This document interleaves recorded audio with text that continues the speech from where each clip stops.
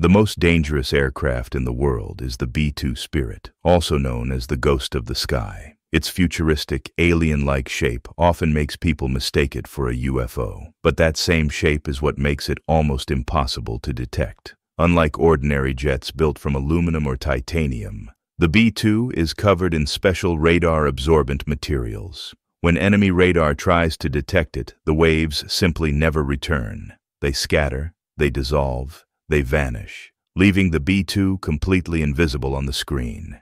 And it doesn't stop there. The aircraft's internal structure is designed to dampen heat, sound, and even explosive shock, making it incredibly hard to track and even harder to shoot down. It can fly thousands of kilometers, strike with absolute precision, and disappear before anyone even realizes it was there. To this day, no other bomber on Earth comes close. The B-2 Spirit remains the silent shadow, the ghost no radar can see.